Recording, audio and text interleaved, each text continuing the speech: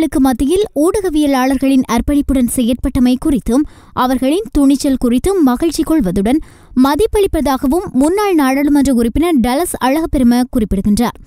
ஐக்கிய மக்கள் சுதந்திர கூட்டமைப்பின் ஊடகவியலாளர் சந்திப்பொன்று இன்று திங்கட்கிழமை ஸ்ரீலங்கா சுதந்திர கட்சியின் தலைமையகத்தில் நடைபெற்றது.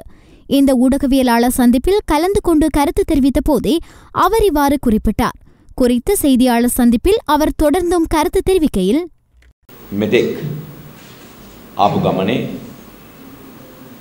මාධ්‍ය වේදින් විදියට ඔබ ඉටු කළපු වගකීම தேர்தல் அறிவிக்கப்பட்ட காலத்திலிருந்து இதுவரையிலான பயணத்தில் ஊடகவியலாளர்களாகிய நீங்கள் அர்ப்பணிப்புடன் செயற்பட்டமைக்கு நான் இவ்விடத்தில் நன்றி கூறுகின்றேன் ஊடக நிறுவனங்களுக்கு பல அழுத்தங்கள் இருந்த நிலையில் ஊடகவியலாளர்கள் உங்கள் எல்லை வரை சென்று மனச்சாட்சியுடன் செயற்பட எடுத்த முயற்சியை நாம் மதிக்கின்றோம் அத்துடன் மீண்டும் ஒரு கோரிக்கையை முன்வைக்கின்றோம்.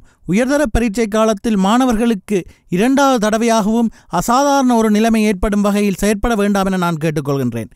மாணவர்கள் பரீட்சைக்கு தயாராகி பரீட்சைகளுக்கான அட்டவணையை கையில் எடுத்திருந்த இறுதி நேரத்தில் பரீட்சை ஒரு மாதத்திற்கு ஒத்திவைக்கப்பட்டதனால் மாணவர்களுக்கான முதலாவது அநீதி இழைக்கப்பட்டது.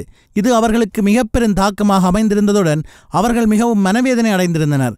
இவ்வாறு வேதனையுடன் இருக்கும் லட்சக்கணக்கான மாணவர்களுக்கு சுதந்திரமாக தமது கற்றல் செயற்பாடுகள் மேற்கொண்டு செல்வதற்கு தேவையான சூழலை உருவாக்குமாறு நான் கூட்டமைப்பு சார்பில் எமது உறுப்பினர்களிடமும் எதிர்த்தரப்பு உறுப்பினர்களிடமும் கேட்டுக்கொள்கின்றேன்.